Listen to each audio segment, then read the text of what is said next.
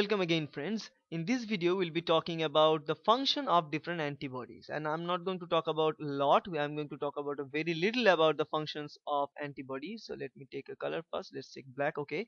Now uh, I'm not going to talk about the antibody response here which is this picture. I'm going to talk about simple three different important functions that are played by antibodies. Now let's first talk about how the antibodies are produced in a very uh, very brief way that we all know that antibody are produced by B cells. You all know that right? So we are having B lymphocytes or B cells. Now the B cells are the antibody secreting factories. Now among those B cells they are matured what we call a large plasma plasma cell. So let me write it as a plasma cell. Now this plasma cell can secrete antibody molecules outside so this this plasma cells are the factory right? Now for the production what we need we need the activation of b cell. And how the b cells are getting activated let's say here it is the b cell and it also interacts with a helper t cells or th you all know that right? T helper cells are required.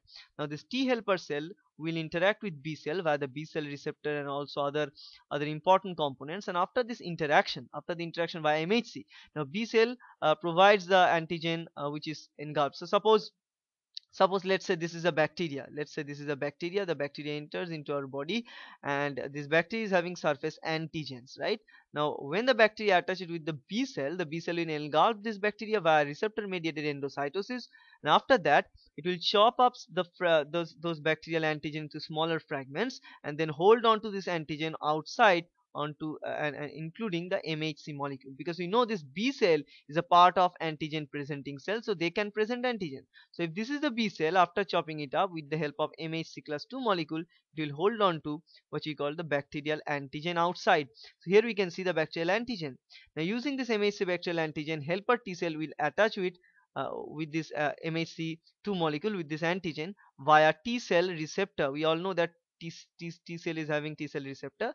Now this interaction is important along with other interactions, other cytokine exchange interaction as well as co-stimulatory molecule interaction.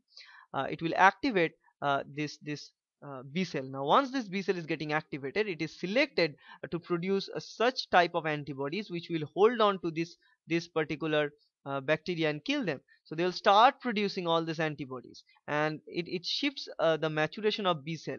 And this maturation will convert the B cell into a plasma cell. As you can see here now these are larger cells can secrete more and more antibodies. So you can see a lot of antibodies are being produced. Now all these antibodies can go and attack this invading bacteria. Now up to this point we have produced the antibody. Now we are going to see uh, what are the different way this antibody is going to kill uh, the invading pathogen. Now there are three major ways that this antibody can do the job. Now i am telling one important part that neither of this antibody antibody cannot uh, degrade the bacterial cell on its own. It requires the activity of other elements. Require the activity of either macrophage or, or can say phagocytic cells or uh, they can need uh, the presence of complement system. Otherwise they cannot uh, kill this kind of uh, uh, foreign pathogen or foreign invader right? What they can do on their own is that they can mask uh, the antigen. So this is one of the type that they can mask the antigen. So let's say this is the bacteria and these red dots are the antigenic determinants onto the surface of bacteria. Now this antibiotic uh, no, sorry not antibiotic antibody which are produced by this cell they can come and coat all this antigenic region. And after coating it what it does is actually it, it masks all these antigenic receptors antigenic region. As a result this bacteria cannot enter cannot do any harm. Now the second part uh, second important thing that they can achieve is opsonization. Now what we mean by opsonization opsonization means simply it's a type of phagocytosis and this phagocytosis is mediated by this antibody. Now it was found that when you are having only bacterial cell only small bacterial cells and you have macrophages and other phagocytic cells they can engulf this bacterial cell but the engulf efficiency is less. But once we coat all this antigen with antibody uh, this, this there is increase in the affinity uh, towards this antigen antibody complex. So macrophage and all the phagocytic cells having higher affinity towards them so they can go and engulf it pretty easily. So this is called the opsonization part right? And the third important step that they can achieve and kill the bacterial cell using pore uh, or creating pore onto the bacterial cell creating hole.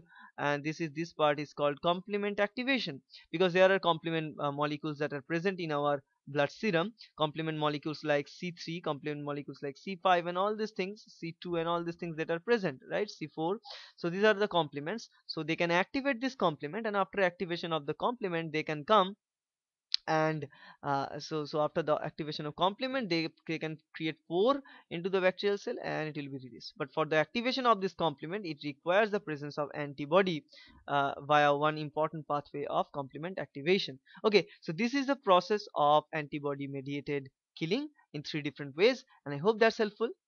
Thank you